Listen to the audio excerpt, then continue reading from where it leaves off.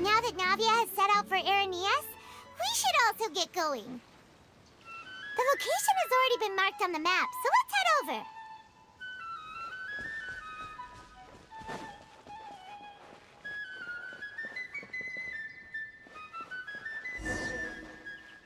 Huh. According to Malusa's info, the synth production base is underwater. Let's go and try to find the entrance.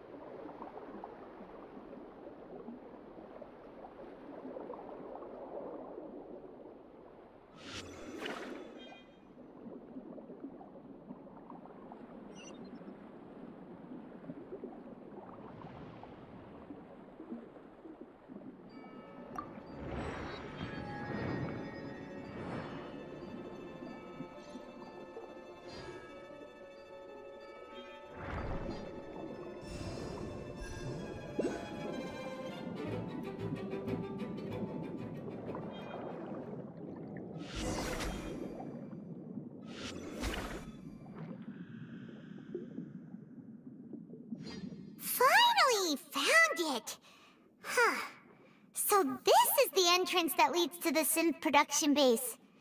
It sure doesn't seem out of the ordinary at all. Ah, you're right.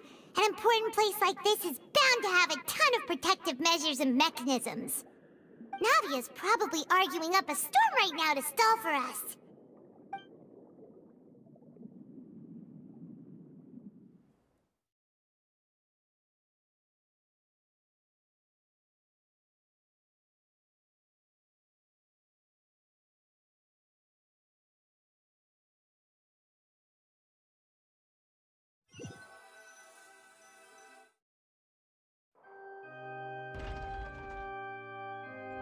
Would appear that I must repeat my question again, Mr. Tartaglia. Do you accept the charge that you are the true culprit behind the serial disappearances case? To be perfectly honest, I don't understand your country's complicated court system, or the reason why I'm being charged with something I've never even heard of. However, I did hear that people who have been charged can choose to participate in a duel to clear their name. Is that right? In which case, as long as I accept the charge, I can have an all-out fight with that champion duelist Clorinde, right? I've got to admit, that's one of the most enticing offers I've ever received. When I privately sparred with her last time, she was obviously holding back. Real disappointing. Hey! Don't you understand? You're currently the prime suspect for a major case. This isn't the place for you to be looking for fights. Oh? Sounds like the Hydro Archon wants to lecture me on the ways of the Opera House. Then why don't you duel me too? I'm the kind of student that learns best in the heat of battle. Uh, uh, no, no, no, no. That's not what I meant. Alas, it would appear that communication with the defendant is going poorly, and we have made very little progress. In that case, let me explain everything from the very beginning again. The goal of this trial is to determine the culprit behind the serial disappearances case. that case had nothing to do with him! You've got the wrong man! Huh? What's going on? Why is she interjecting again? I told you it couldn't be one of the Fatui Harbingers. Miss Navia, this is the second time you've interrupted the court proceedings. I only tolerated your behavior last time because you were able to provide the court with a key eyewitness. But that was an exception rather than standard court protocol.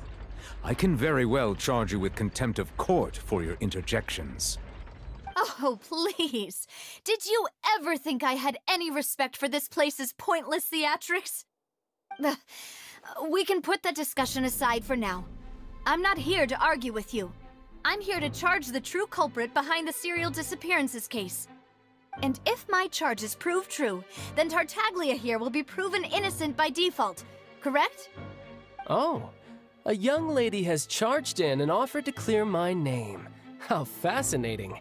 Well, I'd gotten half bored to death by all these rules and procedures anyway, so I'll take you up on that offer. So, Your Honor, is there nothing else for me to do now? You may take a seat for now in the audience, but that doesn't mean the suspicions against you have been lifted. Now then, Miss Navia, who is the person you would like to charge instead? That person is...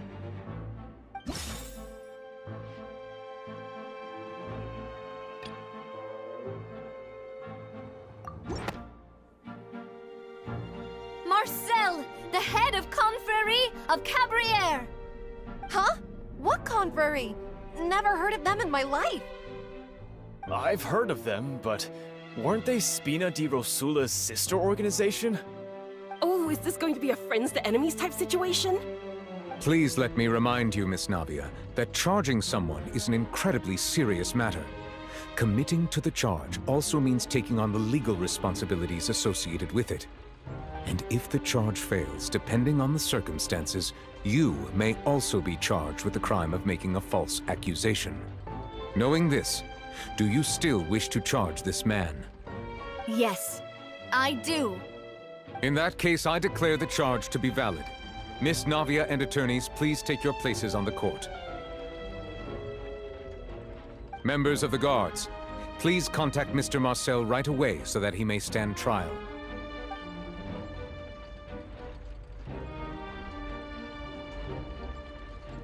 Mr. Marcel, you will not require an attorney. Is that correct? Ah, apologies. Uh, it all just happened so quickly. I still haven't figured out what's going on. I think an attorney won't be necessary. This is probably just a misunderstanding between me and Navia. Very well. In that case, since both sides have now arrived, Miss Navia, please present your charges. I would like to take everyone back to three years ago, to the case of Callas the Unfaithful. Only through elucidating what really happened in that case can we connect all the dots for the serial disappearances case. Navia, do you really think that I was the one who killed your father? Come on, why would I do that? Callas was my benefactor, and remember both you and I only ran to the scene when we heard the sound of a gun. If that's enough to make me a suspect, wouldn't that make everyone at that banquet a suspect as well? I, uh, I think there's no point in getting into the specifics right now. The audience doesn't even have the big picture yet. Even I'm struggling to remember some details of that case. Exactly correct, Your Honor.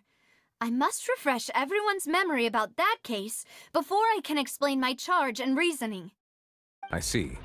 In which case, I will recount the findings about that case as originally recorded by Maison Gardiennage.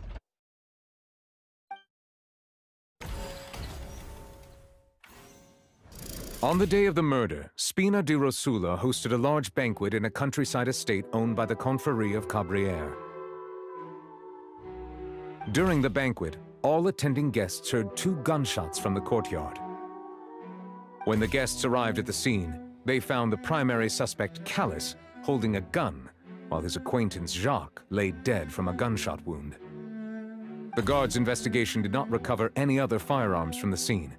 As a result, they concluded that the suspect's first shot must have missed, while the second must have taken Jacques' life. The suspect did not dispute this conclusion, and also declined to defend himself in court. Instead, he chose to prove his innocence through a duel. Callas was defeated by champion duelist Clorinde in the ensuing duel, and soon succumbed to the injuries. These are the known facts about the case.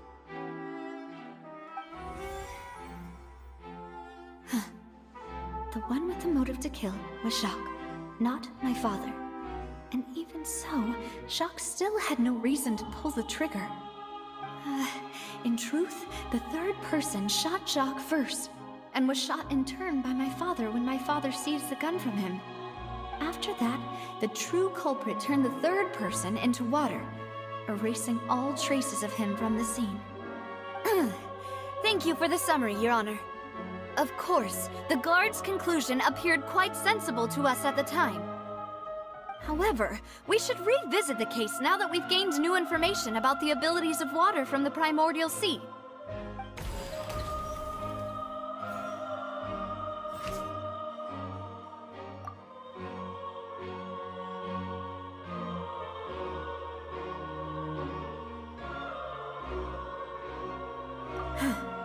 Something's not right. Let me think for a little while longer.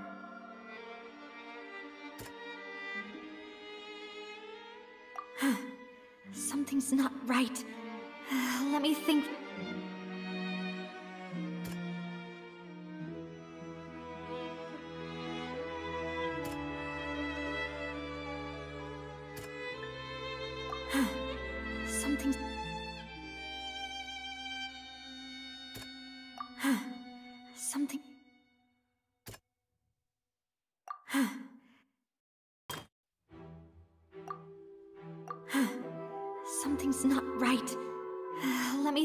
Little while longer.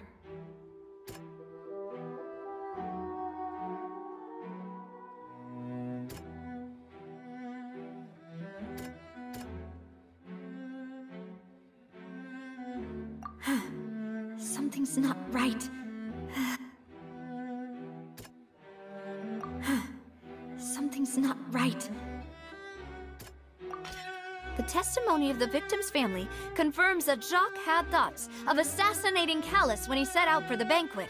However, in the end, he reconsidered and instead shared everything with Callas, hoping to seek the latter's protection. Unfortunately for Jacques, the true culprit had already considered this possibility and had sent out another assassin.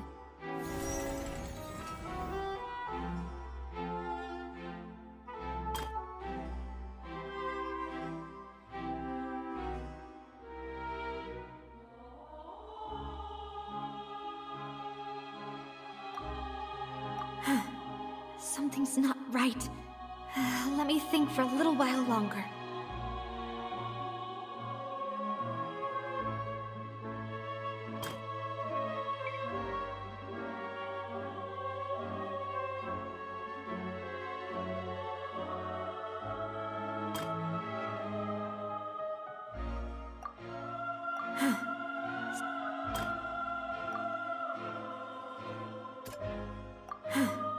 Something's not.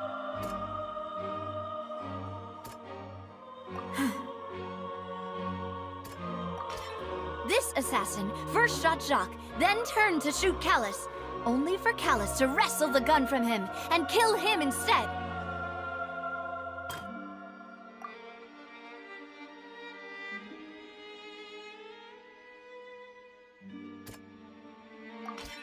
A pile of clothing was found at the scene. The guards once believed they were used by Jacques as a costume to disguise himself. But now, it is clear that the clothes were proof that there was a third person at the scene, and that they were turned into water after committing the murder. Since it was raining that day, the culprit was confident that they could use the rain to wash away all traces of their dissolved accomplice. Realizing this, the true culprit caused the hired assassin to dissolve into water, leading everyone to believe Callas was responsible for Jacques' murder. This is the true version of events.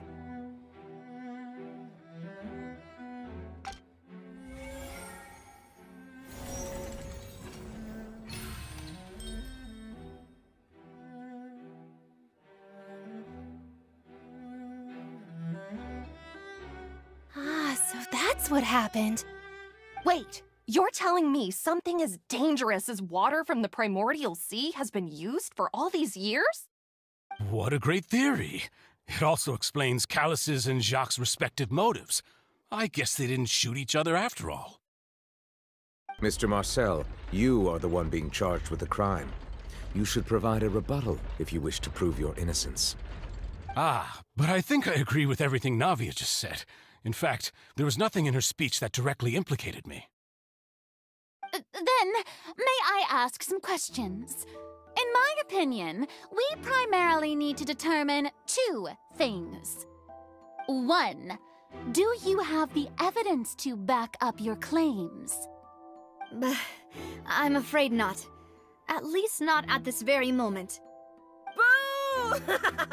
if you don't have any evidence, you should just go home. I may not have the evidence with me, but I know where I could go to collect it. If we look up the deserted clothes against a record of people who went missing around the same time, we should be able to find a match. Considering the serial disappearances case, The guards probably kept careful records of all missing persons from around that time, regardless of age or gender. That makes sense to me. Monsieur Neuvillette, I would consider this to be a reasonable investigative direction. Huh. Why do I feel like Furina's acting a little differently today? Maybe she's scared of embarrassing herself again? Alternatively, she's become more diligent after charging an innocent citizen in the last trial. My second question has to do with the ensuing duel. If the truth is indeed as you described, then why didn't Mr. Callas explain himself in court? If he had testified that a person had been dissolved, he could have at least mounted a defense. I've thought about this too, and the answer is actually pretty simple. He felt there were things that were more important to him. The dissolving power of water from the primordial sea is an important secret for the true culprit of the serial disappearances case. My father could have exposed it for all to see, but he chose to take it to the grave. At that time, Spina di Rosula was in dire straits, and his reputation had already been shattered. He had no guarantee that going forward with the truth would allow the culprit to be brought to justice. What was certain, however, was that it would paint a gigantic target on my back. Boss once told me that Demoiselle had already been selected as the next target of the serial disappearances case. What? If the secret had gotten out, the culprit would have fought an all-out war with Espina right there and then. I wouldn't have been the only one in danger. All of us would have stood to lose our lives. Of course, the guards might eventually figure out the truth of the matter and determine that we were in the right. But what good would that do? How can a hollow verdict protect anyone? Had this opera house ever given my father any kind of confidence in its brand of justice, Spina di Rosula would have had no reason to exist. But by staying silent, we retain the ability to deter our opponents and continue the stalemate. I was able to become Spina di Rosula's president, which made me harder to target, as well as giving me more time to grow and learn. And once I have figured out the truth and stepped up to the challenge, I will do what this opera house cannot and restore my father's truth and honor back to him. So, you mean to say, your father intended to die in the duelist's ring? That's right. Do you have any proof? Of course. All you need is to ask his opponent, Clorinde. I don't need your apology, your guilt, or your support from the shadows. You don't have to do anything for my sake. But since he entrusted his will to you, Clorinde, you should tell us the truth about his sacrifice. Um, so, during the duel, did you believe that Callas was intending to die? Yes, I did. As a champion duelist, I've fought many battles and taken a countless number of dishonored lives. In my line of work, I've seen all kinds of people give their all for the faintest hope to continue living. Some were determined, others passionate, and some even manic and twisted. Just one look and I can tell if a duelist is hoping to live or if they're looking to die. I hereby swear on my name and honor as a champion duelist that Mr. Callas never intended to leave the ring alive.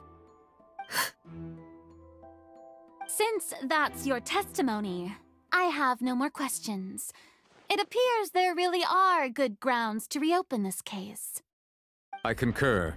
However, Miss Navia, you still have not explained the link between your father's case and the serial disappearances case. Right? What she said was fascinating, but kind of beside the point. Wait, weren't they just talking about the serial disappearances case? Of course, Your Honor. The two cases are connected via a matter of timing.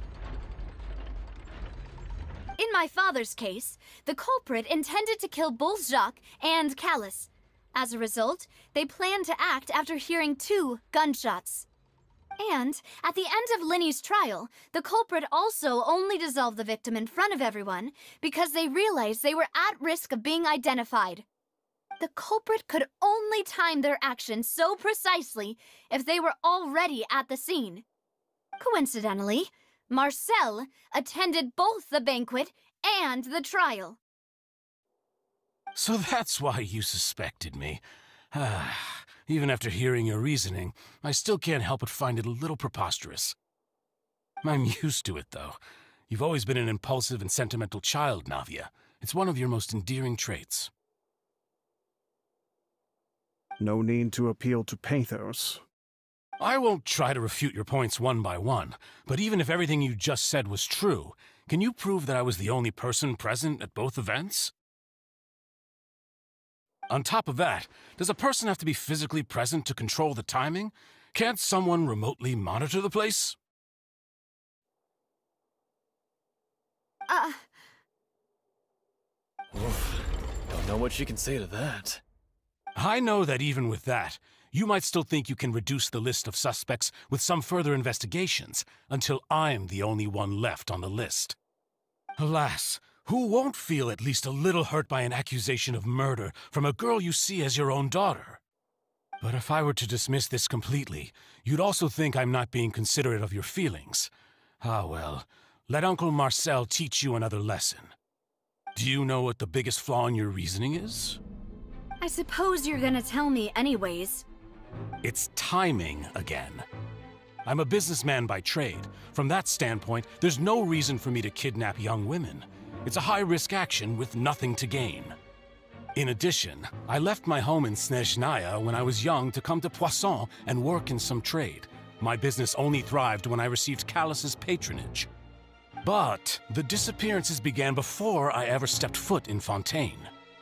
Uh, I do apologize, demoiselle. This was my mistake. No, it's not your fault. I'm sure he had come prepared. Is there anything else you'd like to say? Would you like to check the date of my first business license against the first known case of the serial disappearances? You can also take a look at my border entry records, or ask my friends and family when I left Snezhnaya for the first time. Could those records and testimonies do something to appease the unspeakable anguish in your heart? Ah, seems like she got the wrong guy. At this rate, Navia will be convicted for falsely accusing him. I think you've done a superb job of dissecting your father's feelings as he neared the end of his life. But aren't you going against all of his wishes and expectations right now? He wished for you to become more rational, collected, and conscientious, instead of dwelling only on your own feelings.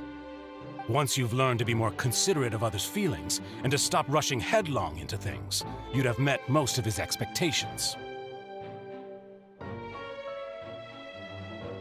This isn't just about me, and it never has been.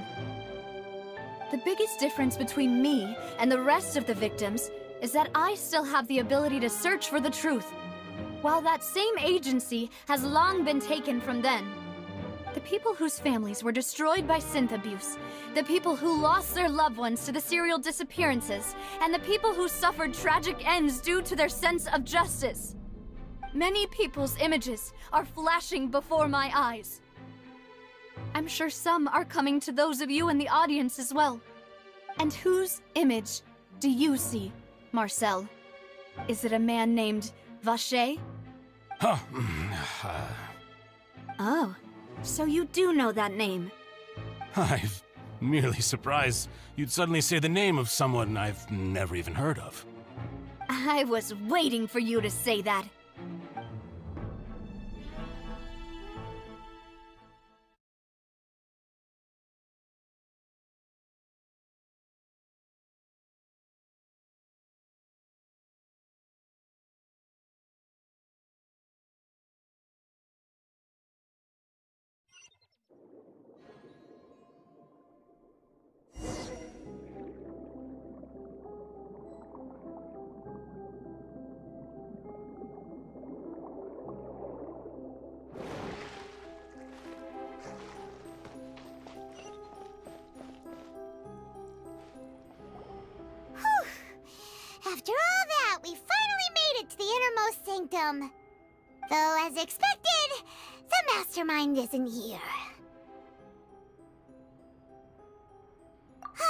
That's right. Then let's hurry up and find some evidence so we can get back to the Opera House and help Navia.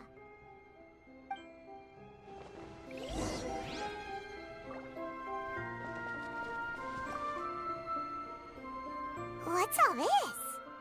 Aw, it's a bunch of really cute things! Pink accessories, a hair tie, a necklace, even a makeup box!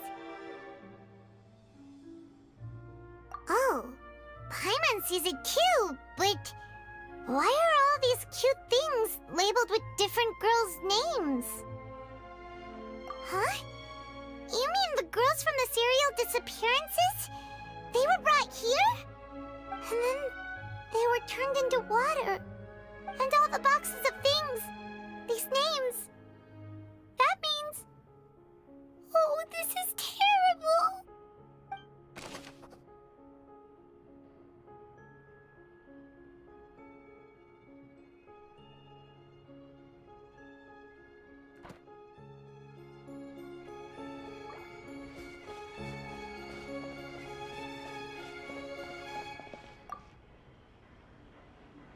What's this over here?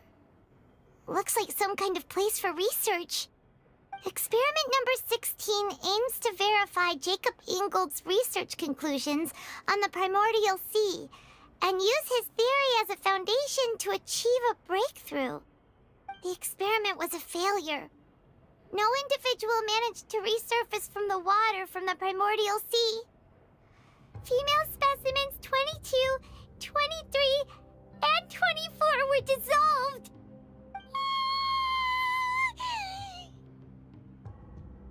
Sorry, Traveler. Paimon will try her best.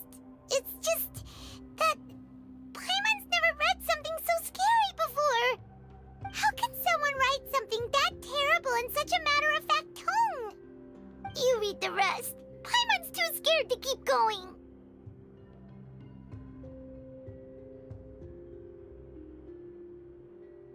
So that's why he did all of these experiments. Wait, did he really think he'd be able to find a way just by dissolving people over and over? That's just insane! Huh? Isn't that the name you heard by the fountain? Paimon thought he was an eyewitness in the serial disappearances case. You mean Vacher is the one who did all of these... Uh, experiments? So that's it! Vacher was no victim, but personally took his lover and... No, that's not it either! If that's the case, why would he want people to resurface from the water? In any case, Paimon will write it all down.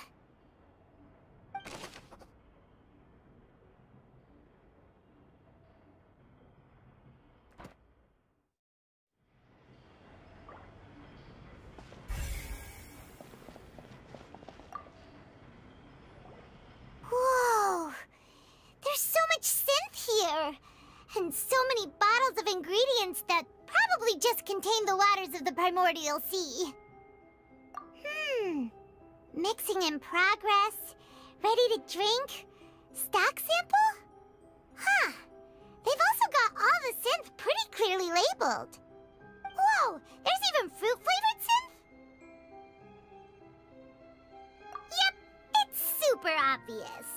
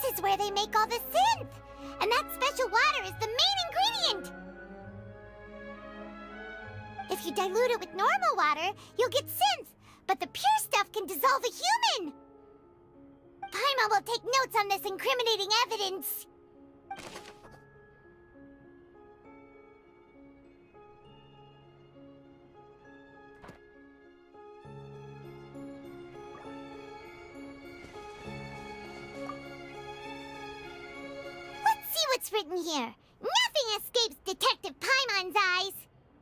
Hmm. Callas. Navia's father. Oh, this seems to be an investigation report on him. Hmm. Hmm. Yep, it's about finding someone to assassinate Jacques and Callas because of a lack of confidence that Jacques himself would go through with it. This should prove the existence of the third person, right? Hmm. We still have not determined the exact content of the key information Callas has passed on to certain members of his organization. The old dog's a real menace to deal with. Even if he abides by the promise he's made to us, he will still have the upper hand.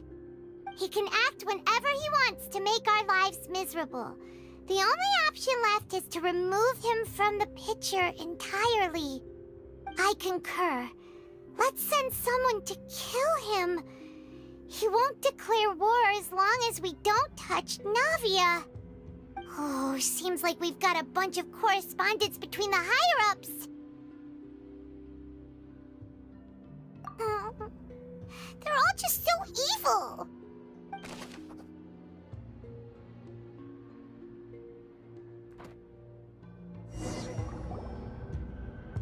We've looked at almost everything here, and it seems like our theories were spot on. But... Yeah, we haven't found anything that reveals his true identity. No wonder even Neuvillette wasn't able to find anything. Whoever it is probably destroyed everything to do with that name a long time ago. That way, even if we bring all this back to the opera, we won't be able to identify the true culprit. Sure thing. Paimon won't admit defeat to this guy either.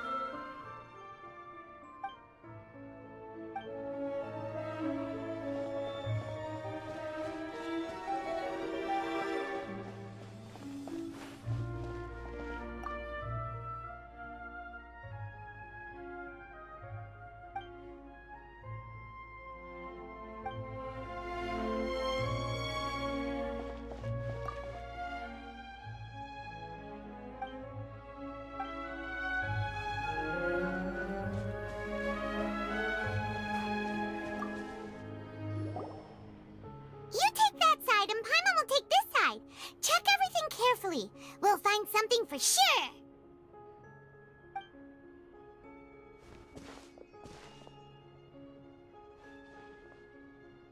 Ugh.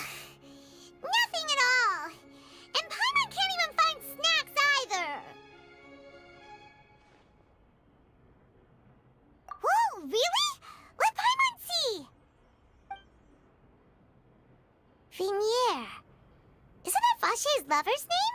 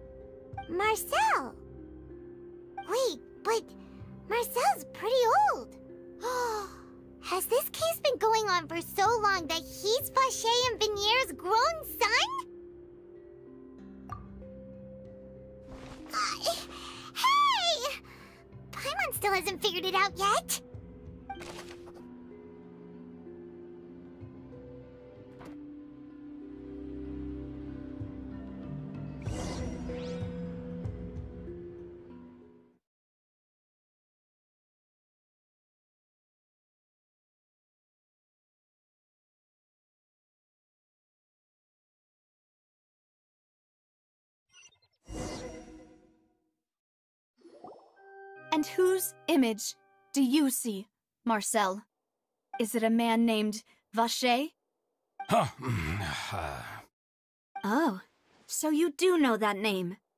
I'm merely surprised you'd suddenly say the name of someone I've never even heard of. I was waiting for you to say that. Navia! We're back! Ah, as expected of my partner. I just knew you'd return in the nick of time. Just how often do you intend to flout the rules of this court? It's all right, Monsieur Neuvillette. Given their confidence, I expect they've found the crucial evidence.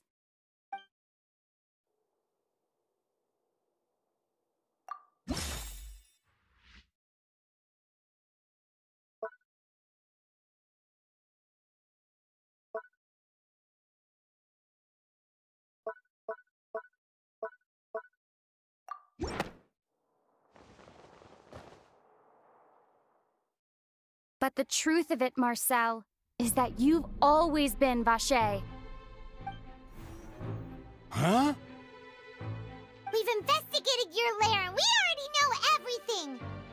After your lover, Vignere, was dissolved, you kept abducting young women to experiment on the hopes of bringing her back to you! You even created Marcel as a new identity and destroyed all records of your past as Vacher! So that's it. Even the villains in opera performances rarely go that far. And with that, Marcel's motive has now been established. This information regarding your past also dismantles your prior timing defense. Well, Marcel, do you know where you went wrong? You fixated your gaze on the lover that passed away, instead of paying attention to the living people around you. So, you never noticed how we changed, or how we grew as individuals. You also never understood Boss's real expectations for his daughter. Or our determination to see things through. your determination. Mr. Marcel, please speak up now if you would like to defend yourself. Otherwise, the trial will move on to the next stage.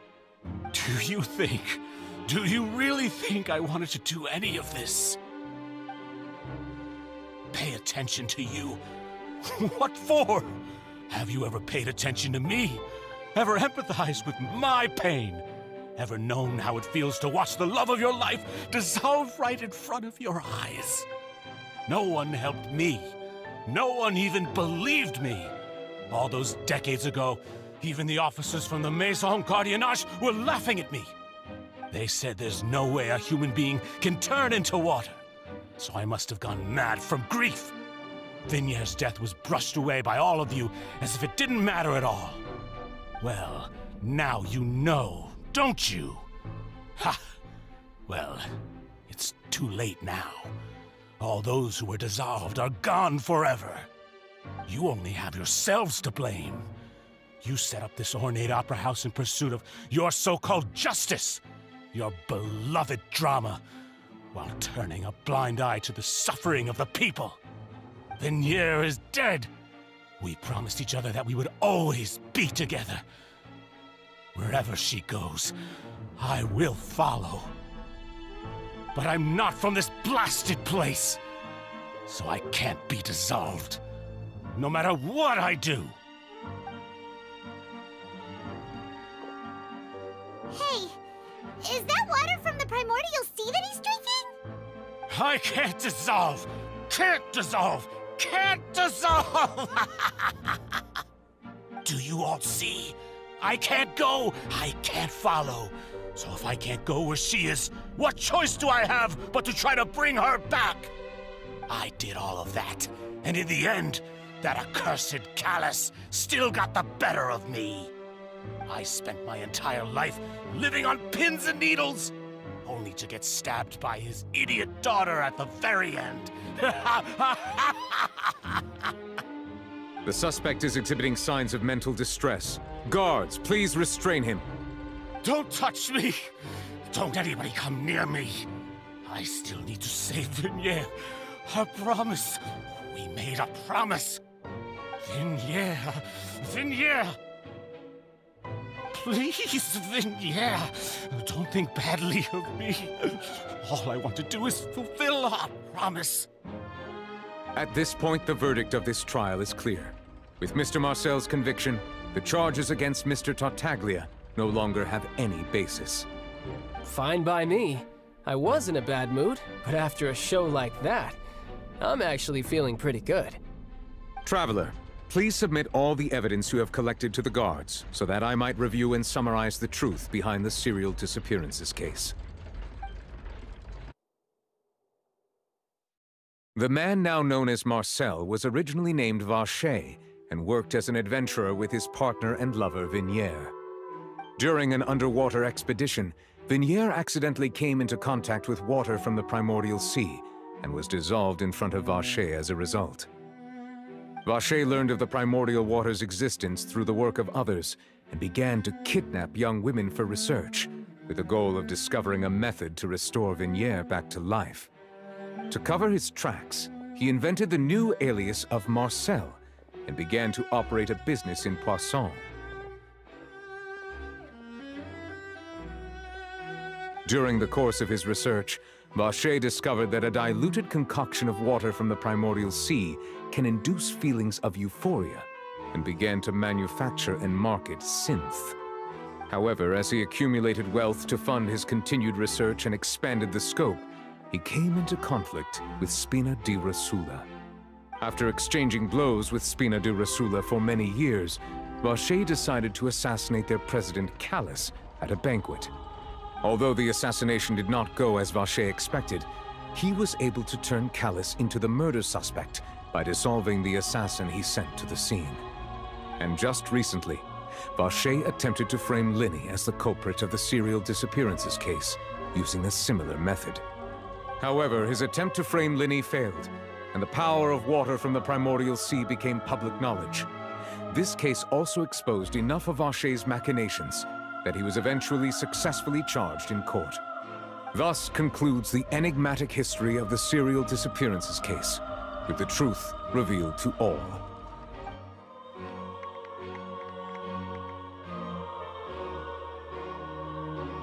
The Oratrice will now deliver the final verdict regarding the charges against Mr. Vacher.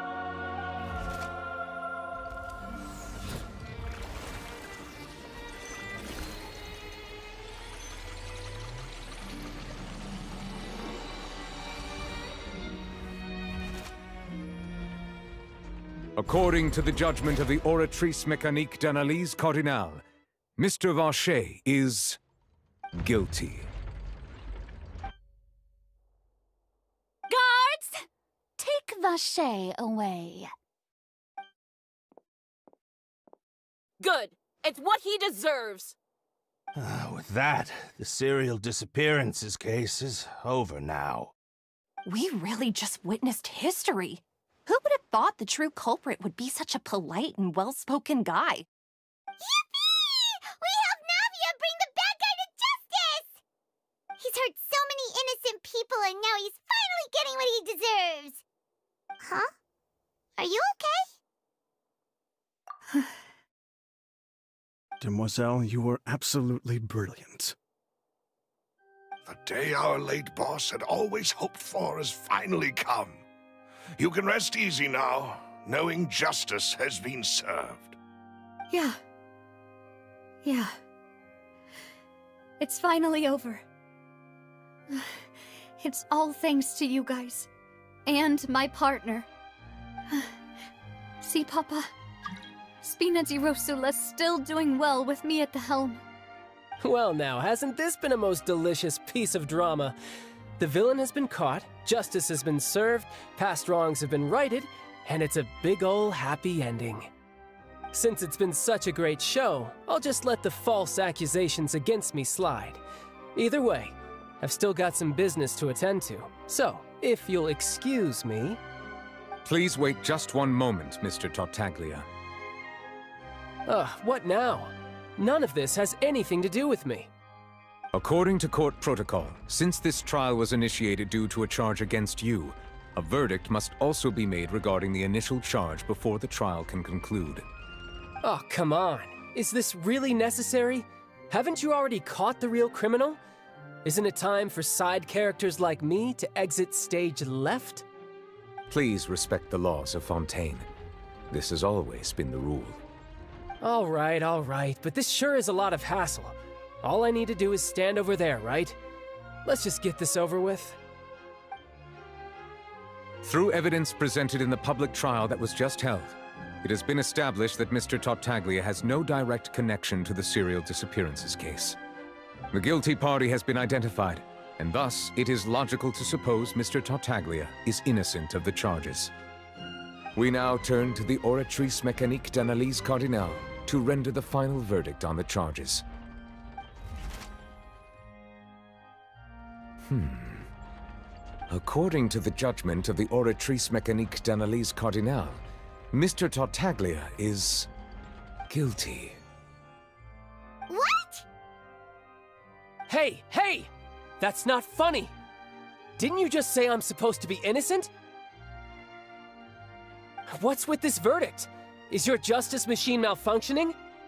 Huh? This has never happened before. The Oratrice actually returned a different verdict from the Chief Justice. I mean, have you ever heard of an innocent Fatui Harbinger? Do you think the Oratrice might have just convicted him on general principle? But weren't the charges about the serial disappearances case? No matter what else he's guilty of, it shouldn't affect the verdict in this case, right?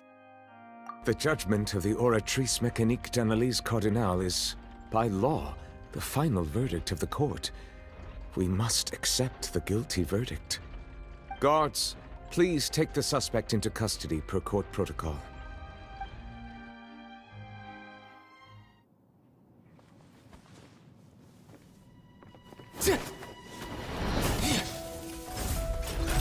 So this is how justice is done in Fontaine.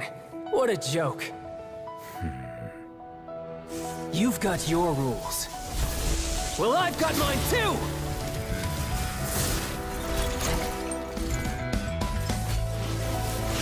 He's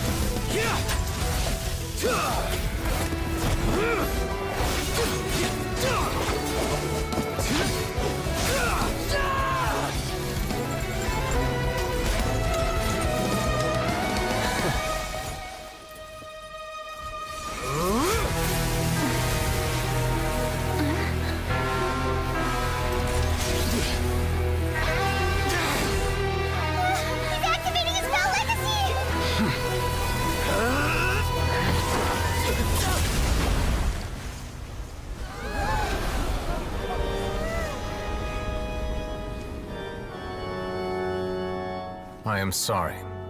If you have been wronged, we will find the truth.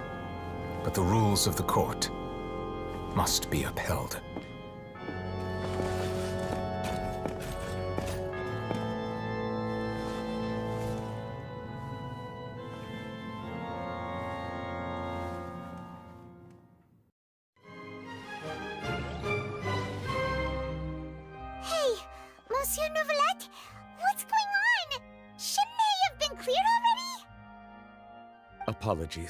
This is also the first time I've encountered such a situation. However, according to the rules established at the conception of Fontaine's court system, the Oratrice's judgment is the final verdict of the court. All I do is follow court procedure. As for why the Oratrice arrived at the conclusion it did, you should probably ask someone more knowledgeable than me. Uh, wh- why are you looking at me? I had nothing to do with it! I I don't know what happened there either. H- Hey, stop staring at me! What does Lady Furina mean by that? She says she has no idea either, but that's impossible. Didn't she create the Oratrice herself? Yeah, so are the verdicts reliable or not? Can results like this really be called justice?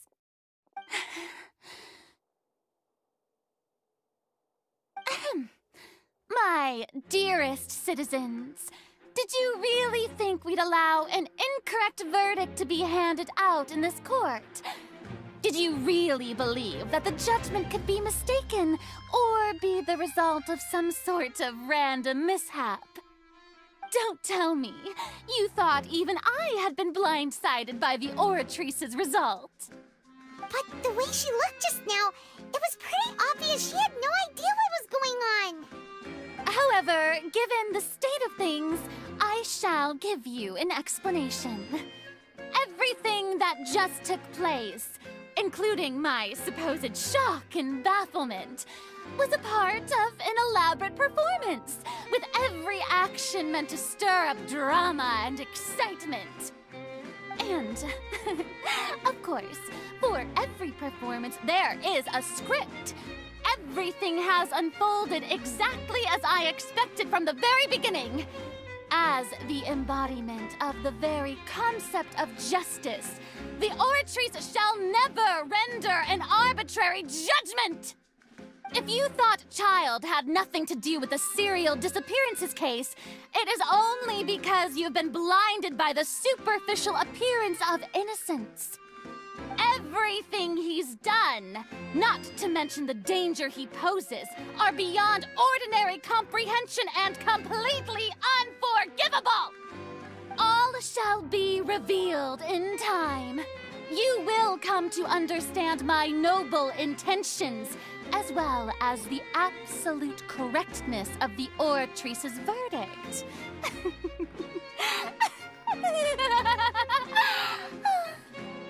now, having said that, although I hate to leave things hanging in suspense, it is now time for this performance to end. As the lead actress, I shall be the first to take my leave. Toodaloo! So she chose to make her escape after all, did she? Uh, so you're saying we shouldn't put much stock into what she just said? Hmm. She probably just put on that performance to save face. As for the truth, it's unlikely that she actually has any idea. However, please be assured that I will continue to investigate this case in a personal capacity. Just as I promised, if the judgment has been incorrect, we will do our utmost to clear his name. All right. Even though we feel pretty badly for him, we'll take your word for it for now. After all, he's done plenty of bad stuff, so he should have known he'd go to prison someday, right?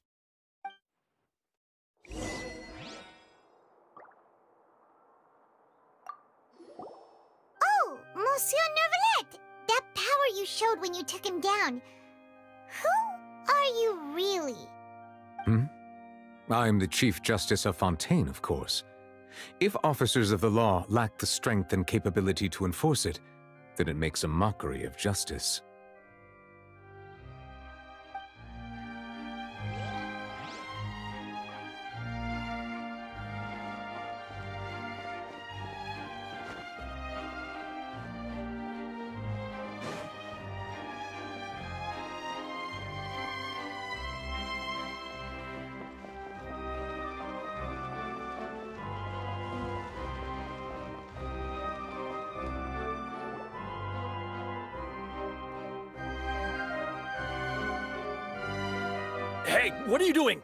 Stop him!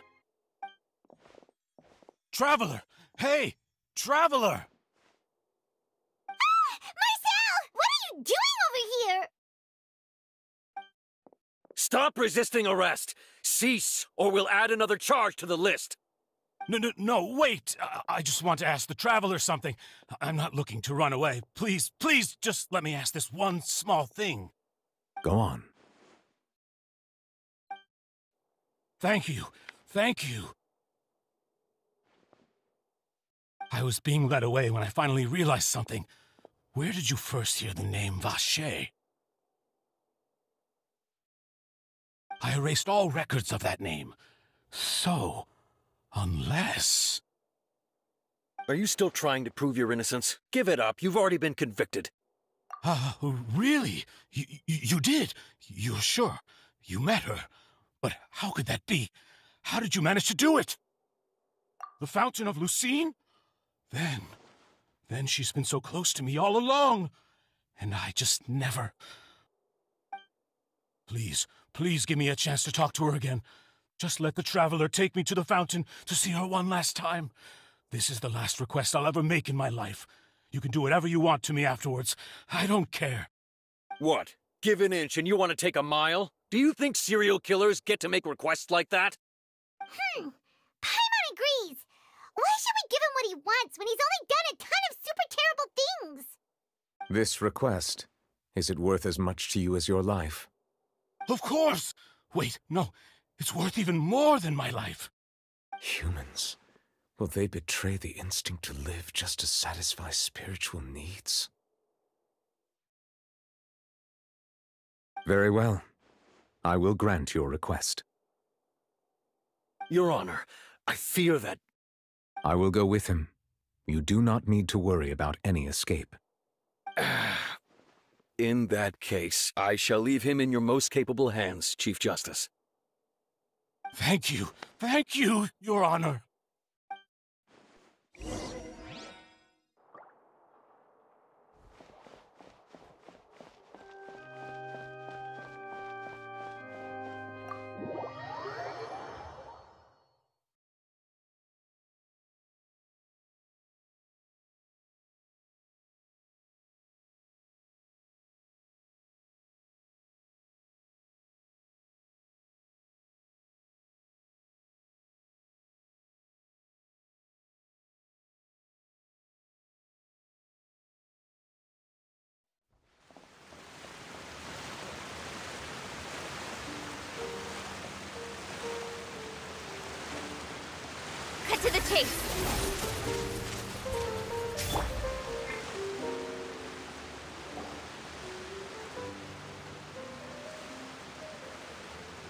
Place?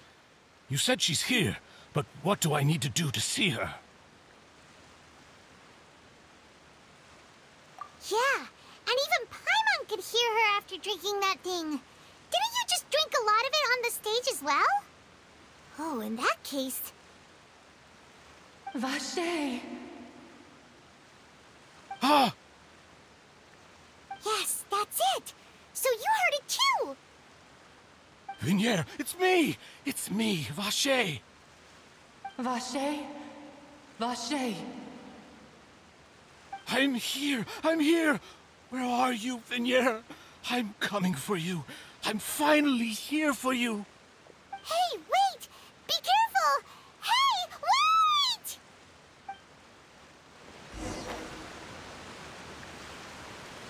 Vignere, is that you? It's me, Vacher! Vignere! Vacher? Why did you come? Didn't I say? You don't need to look for me. You... You look a lot older than I remember. How long has it been? It's been more than 20 years. I've suffered for over 20 years since the day you left. All this time, only the thought of bringing you back has kept me alive. Nothing else mattered to me. Ah, I must be dreaming. Who would have thought I'd get the chance to tell you all of my feelings like this? Vignere, you are my everything. I really don't know how I could live without you. But Vacher, if you ask me, this world would be better off without you. Uh, wh- what are you saying? If not for you, I would have finished my law degree and probably become a top-tier attorney one day. If not for you, I would have continued to pursue my love of the arts, and my works would have been displayed in the Palais Mermonia itself. If not for you, I would at least have been able to take care of my mother. And she would not have grown old and died alone, with nothing but the tears on her cheeks. It's all because of your selfishness, Vacher. It's all because of you. You. Wait, you are not Vignere. Who are you? You're right. I am not Vignere. I am the sacrifices. Every woman who died by your hand, as our bodies dissolved, our consciousnesses flowed back to the primordial sea. Our thoughts circulated endlessly within the primordial sea, and we were no longer individuals. But we became one, just as streams of water come together in the sea. I'm Cressy. I'm Lemony. I'm Azine. The only one I am not is Vignere. Why? But then, where is Vignere? She doesn't want to see you anymore. Every tendril of her consciousness is avoiding you. This is what you get for your selfishness. Your selfishness robbed us of our lives and our futures. You said time and time again that you'd do any and everything for her. But did you ever consider whether she'd want to see you do the things that you did? If she would despise you for what you became? I, um, I... You are a liar, a heartless murderer, and a cowardly narcissist. The only thing you are not is Vignere's beloved. From the moment your first victim died and her consciousness merged with Vignere's, she has had nothing but pure hatred for you.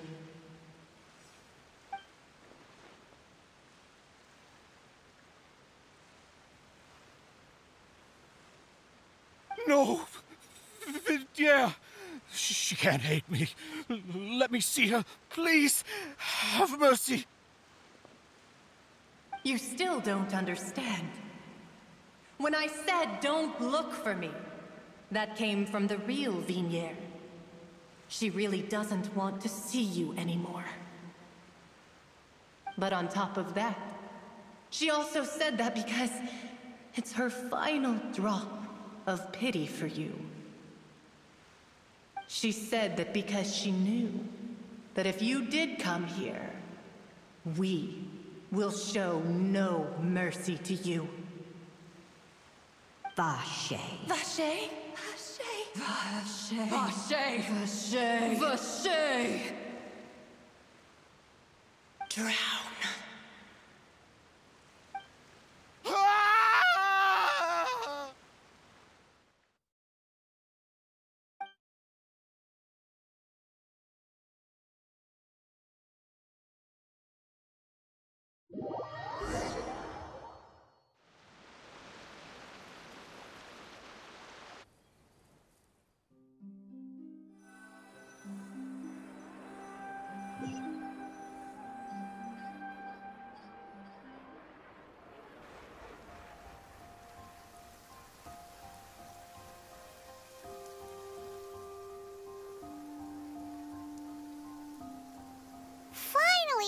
Some time to do shopping.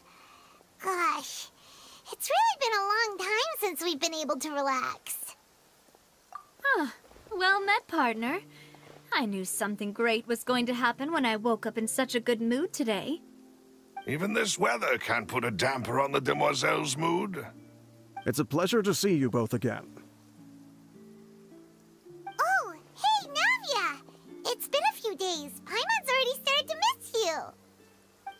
Oh, now that I believe. I'm easy to work with and always bring home the bacon. Who wouldn't treasure having a partner like me? Sounds like you're really enjoying life these days, Navia. What have you been busy with since the trial? Ugh, it's just been one thing after the other. I've been making non-stop trips between Poisson and the courts in Sen. Everyone from Spina di Rosula organized a memorial for my father. We never held a memorial when he first died, since everyone knew that even if we held one back then, no one was going to come. This time, though, everyone in Poisson, and even many people from the court all attended. Ah, so his name's definitely been cleared now. That's what we like to hear. It's been the dearest wish of Demoiselle all along. that blasted stubborn fool. I was right to put my faith in him. I'm so glad I didn't give up on the case all those years ago. Oh, by the way, I ran into Charlotte just after I left the memorial service. Uh, well, maybe it'd be more accurate to say I knew she would be there, and there was no way she'd just let me go. Huh? So you know Charlotte too? The Charlotte? Journalist from the Steambird? Yeah, way back when I first became the president of the Spina di Rosula, she was all over me. Wouldn't take no for an answer. I believe the story was called The True Heart of Darkness Secret Tales of the Yellow Rose. To be fair, though, it was a really flattering feature. so, we've been on pretty good terms ever since. She was trying to lean on our friendship to get me to do an exclusive piece on the serial disappearances case. Oh yeah, she told us about that. She's always been super interested in that case, so now her wishes finally come true too! Anyway, I told her to make sure that when she writes about you guys entering the Opera House with the critical evidence, that you both sound really cool. now that's another thing to look forward to. We trust Charlotte's skills with a pen for sure. Oh, and in other news, I also took Clorinde out for a meal. Oh, are you two on better terms now? Hmm. While you were investigating Vacher's headquarters, Clorinde gave testimony on my father's behalf. It was thanks to her that we were able to turn the tide. I wanted to thank her. I mean, there's also no point in being awkward all the time, so we took the chance to reconcile with each other. Oh, that's great! Paimon also thought Clorinde wasn't actually a bad person. It's always good to have more friends. Anyway, now that the case has finally been solved, perhaps it will slowly begin to fade from the public consciousness. Oh, actually, there's still one last thing I need to do. What is it? I should pay a visit to my father's grave and tell him the truth of what happened, as well as how it all ended. And on top of that, just how much people still look up to him to this day. Hmm. That includes me, too. Miss Navia. Indeed. Mm, we want to go too! We also think Callas is a really admirable person. Sure thing. I'd like you two to share the moment with me. After all, without you, there might not have been such a positive ending. And in that case, everyone, let's be off. Considering the recent weather, we'll be lucky if we can reach Poisson before dark. Yeah, you're right. It's been raining non-stop for a few days now.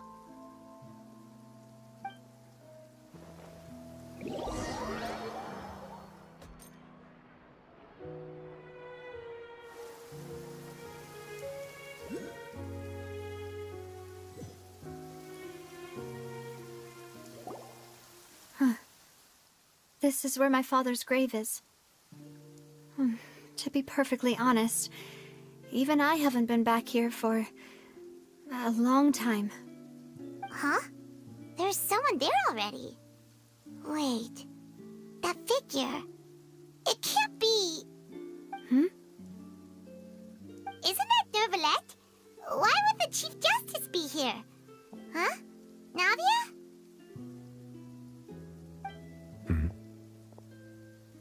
Hmm. My apologies. I should have asked before coming to pay my respects. Don't say that. Sorry about that.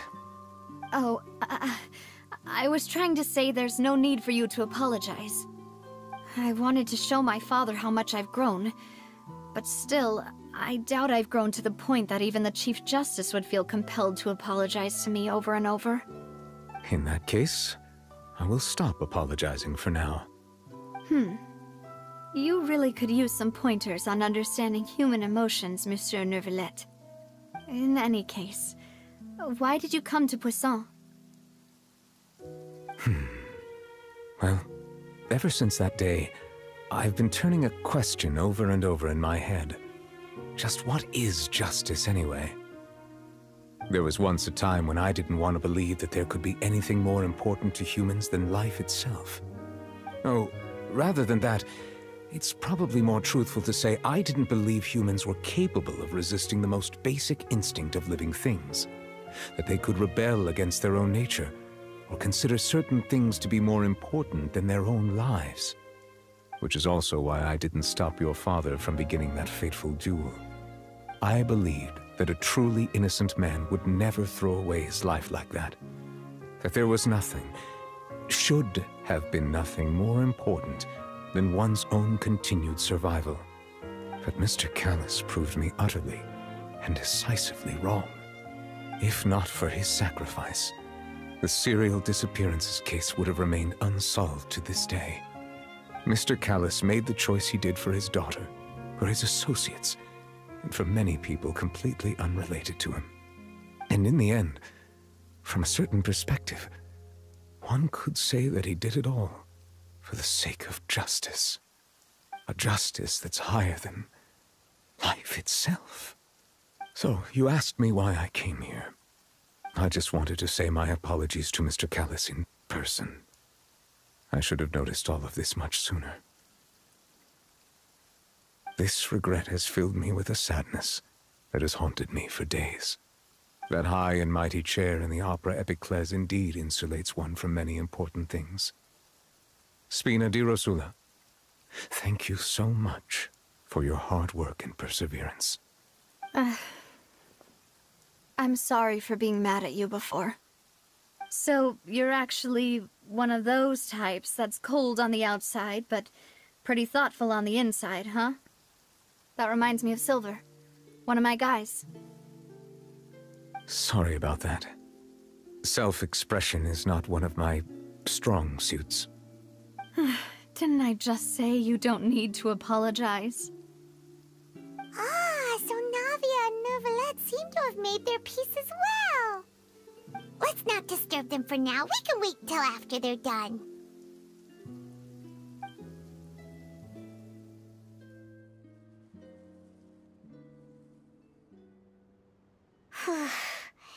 Paimon's never paid respects at someone's grave before. Uh, did Paimon do anything rude there? Huh? Oh, Paimon didn't know that was a thing. But, but Paimon doesn't know what she would do if she can't fly. Oh no. Paimon hopes Miss Navia won't be too mad. Anyway, Neuvillette is still standing around there. It's not often that we can catch him alone like this, so why don't we go talk to him for a bit? If we can't talk to Lady Furina, we can at least talk to him, right? Oh, it's you two. Did Miss Navia invite you to come pay your respects to her father? Mm-hmm. We ran into Navia on the streets today, so we just followed her here. I see, I see. Then is there something that I can help you with?